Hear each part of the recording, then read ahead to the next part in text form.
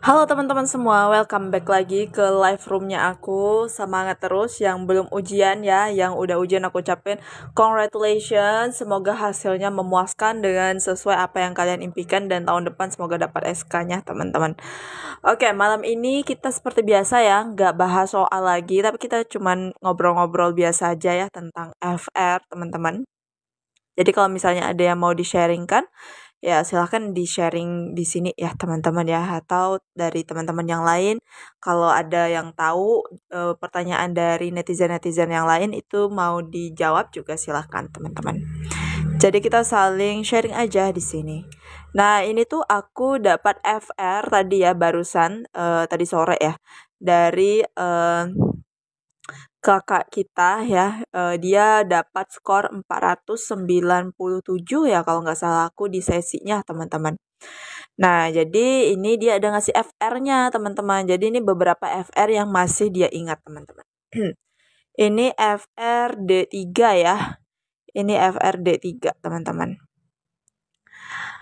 FRD 4 ya kak. Uh, nanti ya ada itu FRD 4 nya ada Oke, uh, jadi di sini tanpa lama-lama ya aku mulai aja teman-teman. Jadi ini bisa kalian screenshot aja teman-teman, terus nanti dicari nih jawabannya.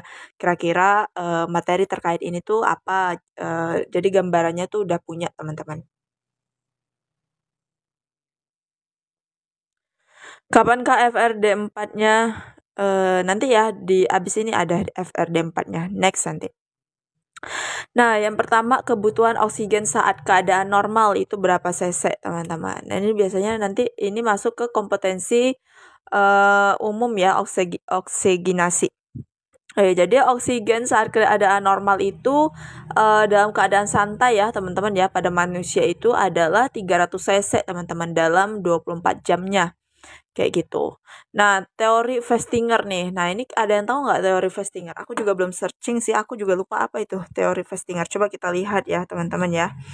Teori Festinger.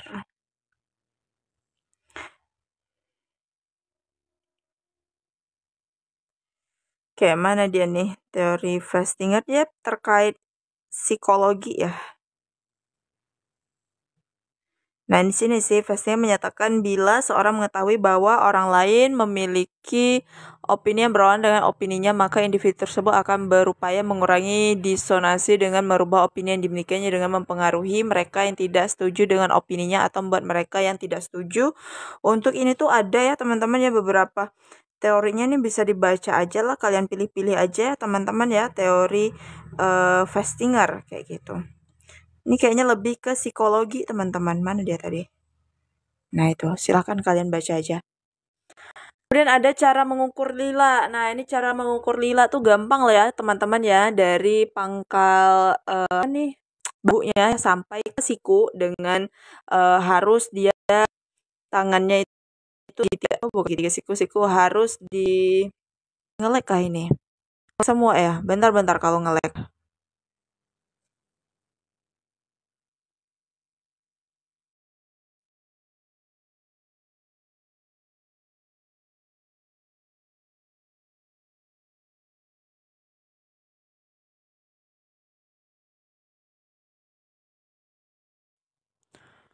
Ini masih ngelek nggak nih kira-kira? Kak, ini buat bidan. Iyalah kakak, ini buat bidan. Aku di sini hanya membahas soal bidan, tidak ada membahas soal jurusan yang lain ya guys ya. Sesuai dengan nama TikToknya, soal bidan, berarti membahas semua tentang bidan, tidak ada jurusan lain, tidak ada kedokteran, tidak ada keperawatan, tidak ada casling, gizi, farmasi, nggak ada. Khusus bidan, teman-teman. Itu ya. Oke, ini tuh soal D3. Lanjut lagi. Nah, e, cara mengukur lila pasti semua orang udah tahu ya cara mengukur lila seperti apa. Kemudian cakupan persalinan normal ya, PN. Nah, ini tuh terkait nanti dengan PWSKIA. Bagaimana cara menghitung cakupan persalinan normal itu ada di YouTube aku e, terkait PWS e, video di PWS ya, teman-teman silahkan dilihat aja. Kemudian ada ibu di daerah pesisir. Nah, ini tuh kurang lengkap ya ibu di daerah pesisir ini kenapa nih? Nah, biasanya itu nanti bermasalah dengan mungkin faktor gizinya atau apa ya, teman-teman ya untuk soal nomor 4. Kemudian soal nomor 5 itu ada laserasi derajat 1 perlu dijahit atau tidak. Oke. Okay. Uh, laserasi derajat 1 itu tidak perlu dijahit ya teman-teman ya karena yang lukanya itu hanya bagian mukosa vagina. Nah, jadi kalau mukosa vagina itu tidak perlu dijahit kecuali kalau kedua ya karena kan dia yang robek uh, perineum teman-teman otot perineumnya. Ibu daerah pesisir rentan malaria kak. Oke nanti uh, tergantung lagi ya dari per, uh, soalnya menyesuaikan aja teman-teman. Kemudian 6 nomor 6 efek jika lidokain masuk ke pembuluh darah saat hekting apa? Kejang, apakah kejang, atau demam. Nah, ini apa nih teman-teman? Efek jika lidokain masuk ke pembuluh darah saat hekting. Nah, ini opsinya ada kejang, infeksi, demam. Kak itu soal opsinya ada kejang, infeksi, demam. Kak itu soal yang udah tes ya, ya kakak. Nah, teman, besok D4 ya Kak. Ini sebentar lagi ada D4 nih. Jadi tonton sampai akhir live-nya ya, teman-teman ya. Oh ya, ya benar ya. Jadi efek jika lidokain masuk ke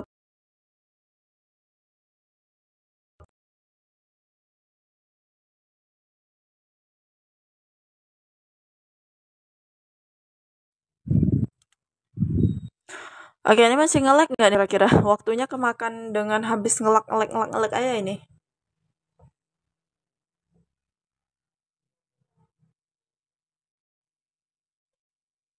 Masih nggak, guys? Selain eh, selain aku aman nggak suara? Yang lain suara aman nggak? Coba kakak-kakak yang uh, soalnya ada yang udah aman, ada yang ngelek. Coba keluar dulu dari live room aku, terus gabung lagi.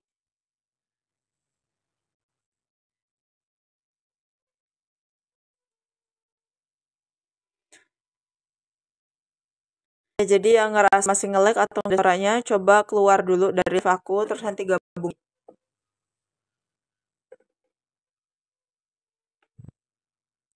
Aman kalau aman berarti tadi efek lidokain uh, lidokain ya kalau masuk ke pembuluh darah itu efeknya bisa ngalami kejang teman-teman nah kemudian soal nomor 7 uh, eh, tabulasi menunjukkan cakupan persalinan normal 70%, cakupan uh, neonatus, kunjungan neonatus itu 85%. Artinya apa? Hmm. Ini ada juga di uh, YouTube aku di PWSKIA, teman-teman. Silahkan dibaca aja ya, ditonton ulang. Kemudian ada atonia uteri. Nah, ini pertanyaan atonia uteri biasa lah ya. Biasanya atonia uteri itu uh, diagnosis ya, diagnosis. Kemudian uh, apa lagi? Penanganan, tindakan awal, tindakan segera, rencana tindakan. Nah, tapi kalau rencana macam teman-teman lagi-lagi diperhatikan dia datang ke mana? Ke puskesmas kah, ke PMB kah, atau ke rumah sakit teman-teman. Seperti itu ya. Pastinya penanganan di rumah sakit, di PMB dan di puskesmas itu pastinya berbeda teman-teman. Nah, kemudian soal nomor 9 itu kebutuhan zinc pada berapa. Nah ini coba dibagi M selanjutnya.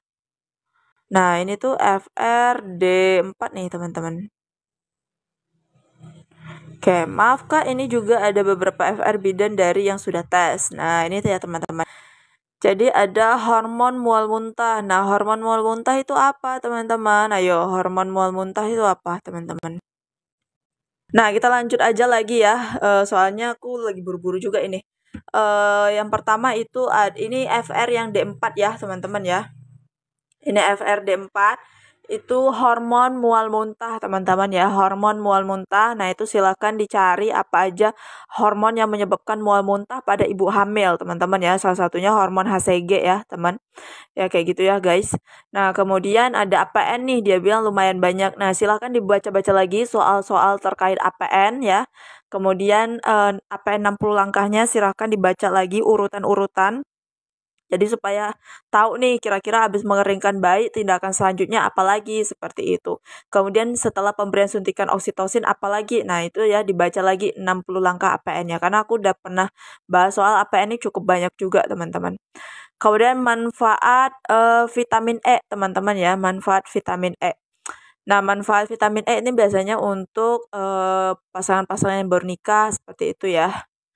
Nah, ataupun pada lansia itu kalau nggak salah aku pernah ada yang keluar juga ya. Jadi dia kurang lengkap nih manfaat vitamin E untuk siapa kayak gitu.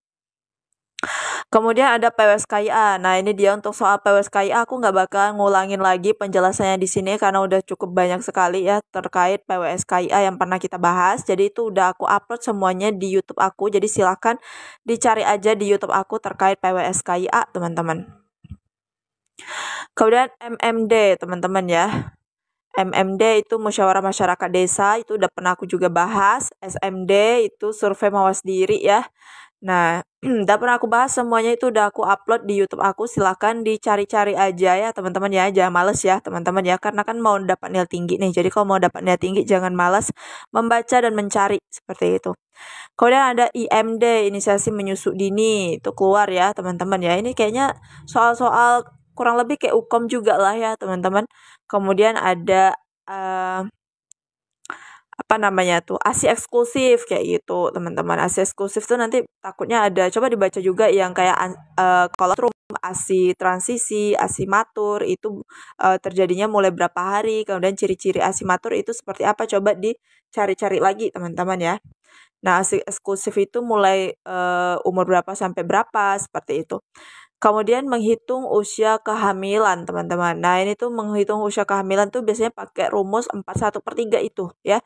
Jadi di soal nanti misalnya dikasih tahu nih, dia datang ke PMB tanggal sekian, sekian, sekian. Kemudian, uh, kemudian uh, di anamnesa oleh bidannya, uh, dapatlah HPHT-nya tuh sekian, sekian. Jadi usia kehamilannya sekarang itu berapa? Itu nanti pakai rumus 4 sepertiga itu ada juga udah aku bahas di YouTube aku, teman-teman ya. Jadi cari aja di YouTube aku tuh menghitung menghitung usia kehamilan itu udah pernah aku bahas teman-teman. Kemudian ada uh, tata laksana kaki bengkak pada ibu hamil. Nah ini tuh terkait asuhannya nanti ya yang ditanyakan teman-teman bagaimanakah uh, penata laksanaan atau asuhan kaki bengkak pada ibu hamil teman-teman. Nah, jadi ini menyesuaikan aja opsinya. Kemudian yang ini cara penyuntikan vitamin K, teman-teman ya penyuntikan vitamin K itu secara IM kemudian ada teknik menyusui. Nah teknik menyusui itu dilihat lagi ya teman-teman teknik menyusui itu apa saja ya. Salah satunya e, mulut bayi itu har apa areola ibu tuh harus semuanya masuk ke mulut bayi. Kemudian tata caranya seperti apa teknik menyusui ya teman-teman ya seperti itu. Dan kapan pankes teknik menyusui ini bisa diberikan ya pada KF berapa seperti itu dibaca lagi. Kemudian KB nah ini pertanyaan terkait KB lah ya seputar KB itu udah pernah kita bahas juga. Jadi kalau di sini sih aku uh, kali ini tuh karena udah pada banyak ujian ya, jadi aku nggak bahas soal-soal. Soal-soalnya itu sebenarnya udah sering dibahas juga dan udah aku upload di YouTube. Jadi di sini kita lebih ke pembahasan terkait FR-nya aja teman-teman ya. Uh, ngasih tahu FR FR atau eh, soal-soal ujian yang uh, udah keluar teman-teman. Kemudian ada abses payudara dan mastitis. Nah abses itu biasanya dia kalau udah sampai bernanah ya teman-teman ya. Tapi kalau mastitis itu dia masih meradang ya. Jadi kalau dia radang itu biasanya dia merah nanti di payudaranya. Uh, kemudian ada asuhan pre dan post operasi. Nah, ini juga udah pernah aku bahas dan aku share di YouTube aku, teman-teman ya, rekaman live TikToknya udah aku share di uh, YouTube aku terkait asuhan pre dan post operasi. Silahkan ditonton ulang ya, teman-teman ya.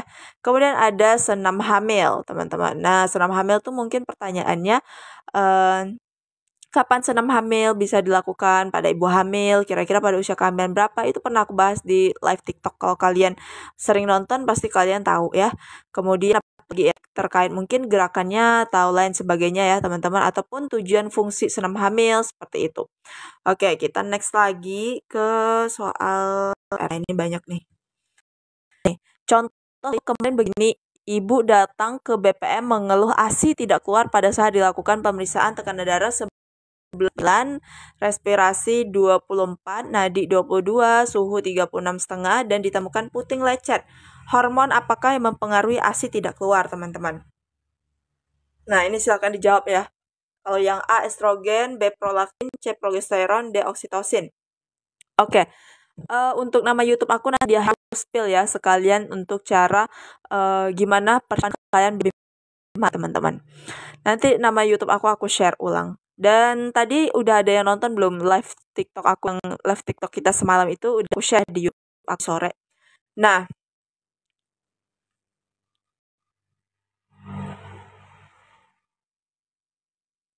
Jadi yang mempengaruhi ASI keluar itu apa, teman-teman? Kalau untuk di ASI itu dipengaruhi oleh hormon apa? Kalau produksi ASI Ya, jadi kalau produksi ASI itu dipengaruhi oleh hormon prolaktin ya, teman-teman ya. Tapi untuk pengeluarannya itu dipengaruhi oleh hormon oksitosin. Makanya tuh ada kan yang namanya pijat ASI atau pijat oksitosin seperti itu, teman-teman ya. Jadi jawabannya adalah yang D ini. Oke, kemudian eh, kala 1 sampai kala 4 kala 1 sampai kala 4. Nah, itu keluar ya soalnya. Itu biasa lah ya, soal-soal kala 1 sampai kala 4 pasti semuanya bisa jawab lah. Ini biasanya berkaitan sama asuhan, rencana tindakan, tindakan awal segera, diagnosis, segala macam faktor resiko uh, bukan faktor predisposisi mungkin ada ya masalah potensial diagnosis potensial seperti itu kemudian tentang kaput pada bayi baru lahir nah ini kaput tuh kemarin uh, semalam keluar juga ya Kemudian ada sepal, sepal hematom, teman-teman. Nah, sepal sama kaput tuh berbeda, berbeda ya, teman-teman ya, seperti itu. Jadi kalau yang melewati uh, batas sutura itu uh, kaput atau sepal, teman-teman, yang melewati batas sutura. Nah, silakan dibaca-baca lagi ya perbedaan kaput dan sepal. Tapi kalau untuk lebih jelasnya pastinya kalau sepal itu dia ada uh, merah ya teman-teman ya merah atau darah seperti itu. Kalau kaput enggak dia biasanya berisikan cairan makanya dipegang kepalanya lonjong itu uh, berisi cairan jadi pas dipegang tuh kayak lembek-lembek gitu teman-teman. Hmm, kalau kapur itu melewati sutura ya. Jadi kalau sepal itu tidak melewati batas sutura. Kemudian KB yang tidak mengganggu ASI. Nah, ini keluar teman-teman. Apa aja KB yang tidak mengganggu ASI seperti itu. Kemudian pelayanan komunitas banyak yang keluar. Nah, ini mungkin kayak desa siaga ya, apalagi desa siaga, kemudian PSKIA segala macam lah ya, teman-teman. Nah, tadi pertanyaan halaman keberapa pencatatan ekohor ibu bayi, mana aku tahu soalnya nggak pernah muncul di TO dan tidak pernah dilakukan kecuali bidan desa mungkin. Oke, dia ada juga nih pencatatan ekohor ibu bayi. Jadi semalam tuh uh, ada ya soal ekohor ibu dan bayi dan aku udah juga pernah upload terkait ekohor ibu bayi segala macam ya teman-teman di YouTube aku silahkan ditonton ulang teman-teman. Nah, jadi tuh setiap orang paketnya kan berbeda-beda. Jadi ya tergantung uh, kalian juga deh nanti uh, dapat soal yang kayak gimana ya. Semoga dapat soal yang gampang-gampang uh, ya, teman-teman ya. Oke, lanjut lagi. Nah, ini dia. Untuk jurusan kebidanan, perbanyak belajar kasus kebidanan dan penanganannya. Nah, ini tuh uh, apa saran dari kakak ini ya. Jadi untuk jurusan kebidanan ya, perbanyak belajar kasus kebidanan seperti itu. Dan penanganannya. Kemudian dia dapat imunisasi anak kelas 3 SD eh, TD nih teman-teman ya. Jadi dia dapat soal imunisasi anak kelas 3 SD itu imunisasi apa seperti itu ya. Kemudian kelas 1 sampai 4 teman-teman. Nah, itu juga keluar Kemudian ada pemantauan pembukaan tiap 4 jam. Ini biasanya menggunakan patograf nanti nih seperti itu. Jadi uh, ada lagi kalau empat observasi jam pertama tiap 15 menit. Nah, ini tuh biasanya kalau untuk uh, kala 4 ya observasi yang ditanyakan biasanya uh, apa saja yang diobservasi pada uh, menit ke-15 pertama teman-teman ya yaitu yang sesuai dengan patograf itu ya teman-teman TTV kemudian kandung kemih apalagi perdarahan uh, TFU kontraksi ya segala macam seperti itu teman-teman Mhm. Kemudian soal undang-undang gak ada kak perdalam baca kasus-kasus kebidanan aja kalau kita sudah sering melakukan tindakan ke pasien sehari-hari insya Allah bisa mengisi soal kebidanan. Nah ini tuh tadi uh, saran dari kakak itu. Nah oh ini ini yang terakhir guys. Ada lagi saya baru selesai ujiannya soalnya itu saya lebih banyak PWS KIA yang hitung-hitung sekitar 6 soal. Waduh ini banyak banget ya dia dapat soal PWS-nya itu sekitar 6 soal teman-teman. Jadi kalau yang menguasai PWSKIA nih ya lumayan lah ya 6 soal. Uh, kalau benar semua berarti berapa tuh? Poinnya udah lumayan 60 ya, teman-teman. Ya enggak sih? Eh, enggak 30 ya, karena satu poin tertinggi itu 5. Nah, kemudian ada BBLR dosis pemberian obat. Nah, ini tuh dosis pemberian obat pada BBLR. Aku nggak tahu nih obat apa yang diberikan pada BBLR.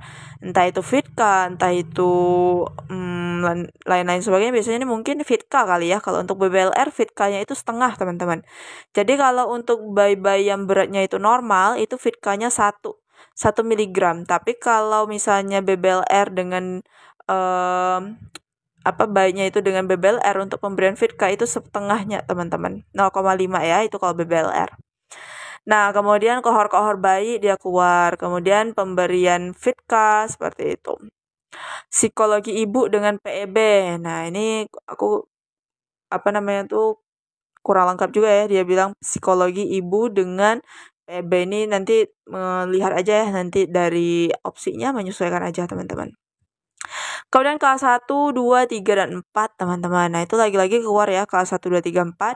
Kemudian penata laksanaan bayi baru lahir. Nah ini dia teman-teman. Asuhan bayi baru lahir itu apa aja yang harus diberikan ya teman-teman ya.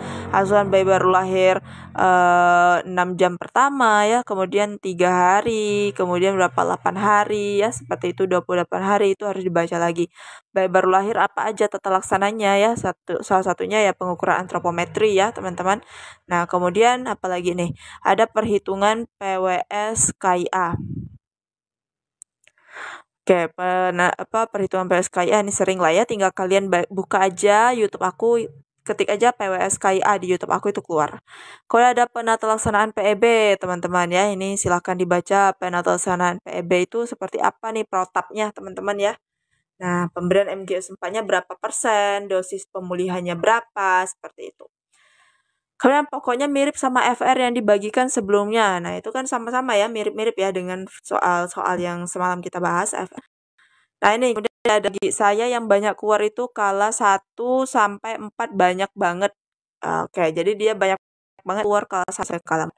Oke, jadi itu yang pernah ukom ya kayak ukom ya, teman-teman ya. Aku sendiri udah pernah mengalami juga emang soalnya rada-rada mirip sama ukom bidan kita dulu seperti itu. Jadi uh, apa namanya tuh, yang penting perbanyak aja belajar, kalau kalian ngerasa kurang, apa ya, kurang menguasai di bagian kohor atau PWS itu silahkan dipelajari lagi lebih lanjut teman-teman. Nah ini buat kalian yang nanyain YouTube aku ya teman-teman ya. Nah ini YouTube aku Aulia Sakina Putri, kalian bisa di SS aja ini ya. Nanti, uh, kalian bisa buka YouTube aku di sini. Untuk rekaman live yang malam ini aku upload ulang besok. Dan hari ini aku udah upload video terbaru ya yaitu rekaman FR yang semalam teman-teman. Jadi silahkan ditonton ulang aja. Oke, kemudian untuk persiapan teman-teman ya. Jauh banget.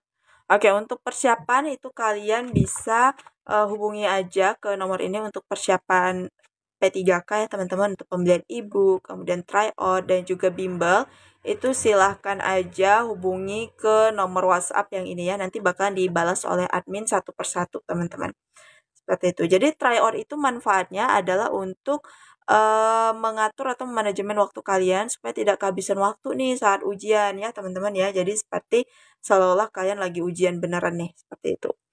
Nah, kalau e-book, e-book itu berisi kumpulan kumpulan-kumpulan soal bidan dan juga kunci jawabannya ya teman-teman. Jadi e-book tuh ada soal PWS Kia juga ya teman-teman ya, soal yang sesuai dengan FR-FR sebelumnya yang udah aku sampein seperti itu.